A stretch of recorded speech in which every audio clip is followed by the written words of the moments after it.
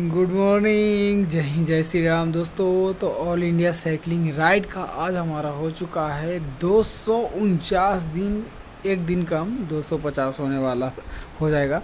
और कल रात में जहाँ पे रुके थे, वहाँ यहाँ पे कैंप किए थे। साइकिल वाइकिल पैक हो चुका है।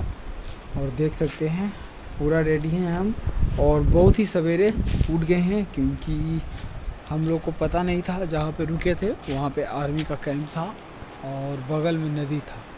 देख सकते हैं, रात में दिखाए थे, अभी का सीन देखिए, कितना खूबसूरत है, मस्त है। और देखो। और थोड़ी दूर चलने के बाद मिल गया था अमरनाथ का भंडारा तो खा लेते हैं यहाँ पे प्रसाद। ये देखिए, ये है खाना कुछ। यही खाना मार्केट में जल्दी मिलता नहीं, क्योंकि इधर ज़्यादा मांसाहारी वाला मिलता है। तो अच्छा है, खाना स्वादिष्ट भी है, खा भी लेते हैं, फ्री में मिल रहा है। खा के फिर यात्रा को कंटिन्यू रखेंगे। आज तो सुबह छः बजे से ही राइड को स्टार्ट कर दिया। यहाँ पे एक्चुअली दोपहर में आजकल रुक नहीं रहे हैं, पूरा चलते चलते थक जा रहे हैं। तो देर से राइड स्टार्ट करते हैं, लेकिन जहाँ रात में रुके थे ना, वहाँ पे सैनिक लोग का रखवाली करने का ये जगह था। तो आज सवेरे से ही राइड को स्टार्ट कर दिए हैं। अभी ऐसे जगह में आ चुके हैं जहाँ पे बहुत ज़्यादा चढ़ाई है और खाने पीने के लिए कुछ मिल नहीं रहा है। बाकी देखने में लुक कुछ इस प्रकार का सुंदर आ रहा है पहाड़ों का। आगे चल के शायद कुछ मिले। चलते रहते हैं। सुबह के दस बजने वाला है।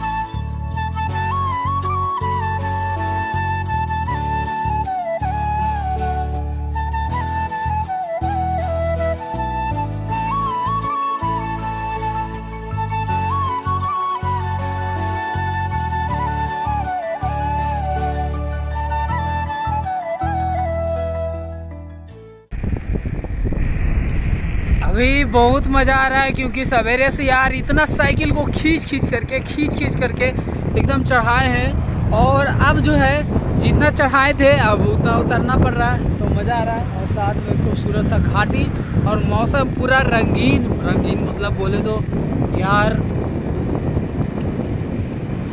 पसीना पसीना आज हो गए चलते चलते अब मौसम ठंडा हो रहा है। लगता है कुछ देर में तेज़ बारिश होने वाला है। देखो, मौसम तो देखो।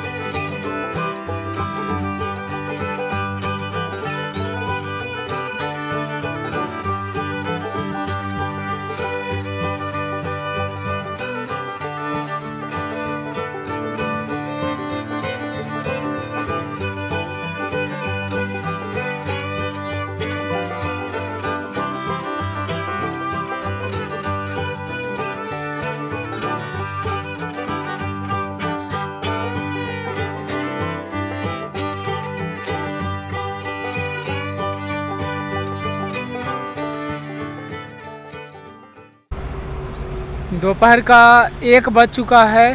सुबह से चले थे सिर्फ़ भंडारे में खाए थे और यहाँ पे एक दुकान मिला है।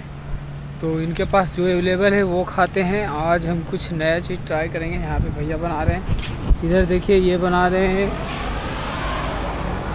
कालाडी और मक्के का रोटी ये सब कुछ है। तो बना रहे हैं भैया। आपका क्या नाम है भैया? मेरा नाम सुनील शर्मा अच्छा।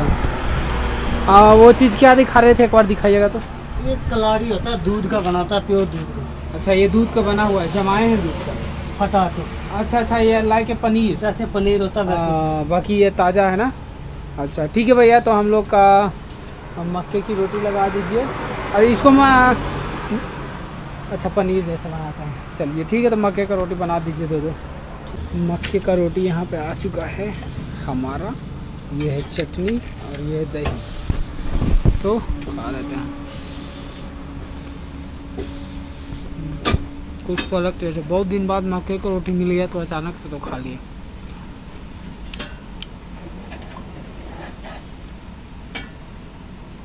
और ये जो चीज़ देख रहे हैं इसको बोलते हैं काला डी चटनी और इसके बाद इसके अंदर जो ये चीज़ भरा हुआ है ना ये दूध का मतलब पनीर टाइप का है। और उसके साथ में मिला ये ब्रेड बहुत ही मस्त चीज़ है। बहुत मस्त लग रहा है। लग रहा है कि गुड वेरी गुड तो रास्ते में चलते चलते मिल गया है वाटरफॉल और हम लोग का नहाने धोने का फ्रेश होने का मतलब इससे अच्छा जगह और क्या मिल सकता है? दोस्तों कितना नेचुरल है। लोग कहीं कहीं घूमने जाते हैं वाटरफॉल देखते हैं। हम लोगों ने कितना देखा, हम लोग का नहाना धोना इसी में हो जाता है। बहुत ही नेचुरल वाटर वाटरफॉल चलते हैं और फटाफट से स्नान करते हैं, फ्रेश व्रेश हो जाते हैं, कपड़े थोड़े गंदे हो गए। फिर अपना राइड को कंटिन्यू रखेंगे। ये है।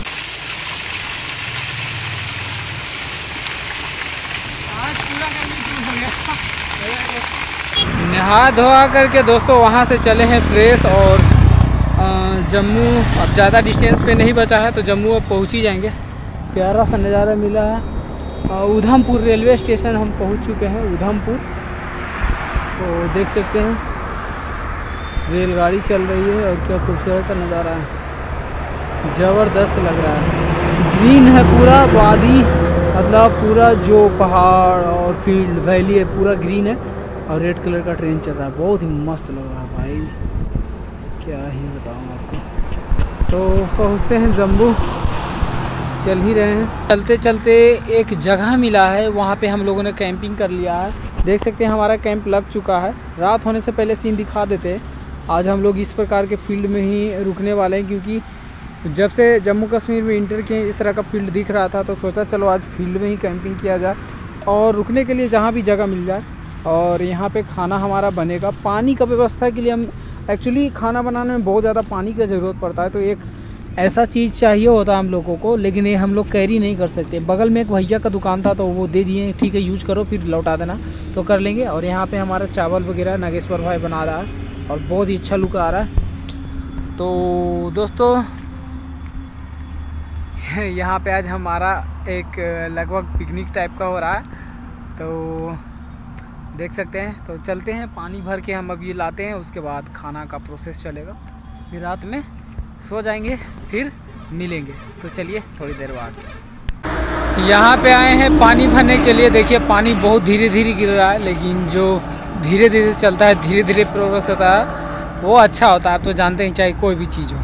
तो देखिए, पानी धीरे धीरे गिर रहा है, यानी पानी पूरा शुद्ध होकर आ रहा है। यहाँ पे देखिए, ये डब्बा जो हमने मांगा है, इसमें भर लेते हैं। और एक चीज़ आपको दिखाते हैं, सामने देख सकते हैं कि मूर्ति जिधर से पाइप पा रहा है पानी का ना, उधर मूर्ति लगा हुआ है। यानी कि लोग पानी को पूजते भी हैं यहाँ पे। मतलब ये मूर्ति ऐसे नहीं कोई ला के रख दिया यहाँ पे रख करके पूजा किया जाता है। मैंने बहुत जगह हिमाचल प्रदेश में भी देखा कि जहाँ पे पानी का सोर्स होता है, वहाँ पे मूर्ति को रख करके पूजा किया जाता है। फ़िलहाल हम पानी को भर लेते हैं। और यहाँ पे पानी में कोई नल नहीं होता, पानी ऑटोमेटिक बहते रहता है। क्योंकि अगर नल लगा देगा ना तो पानी का जो सोर्स है, वो जहाँ से आता है, वहाँ पर जाके रुक जाएगा। ये चलता पानी है, पहाड़ से बहता पानी है। पानी भरते हैं चलते ट्रेन के पास। मिलते हैं नए वीडियो में, तब तक के लिए जय हिंद, जय भारत, वंदे मातरम, हर हर महादेव, बाय।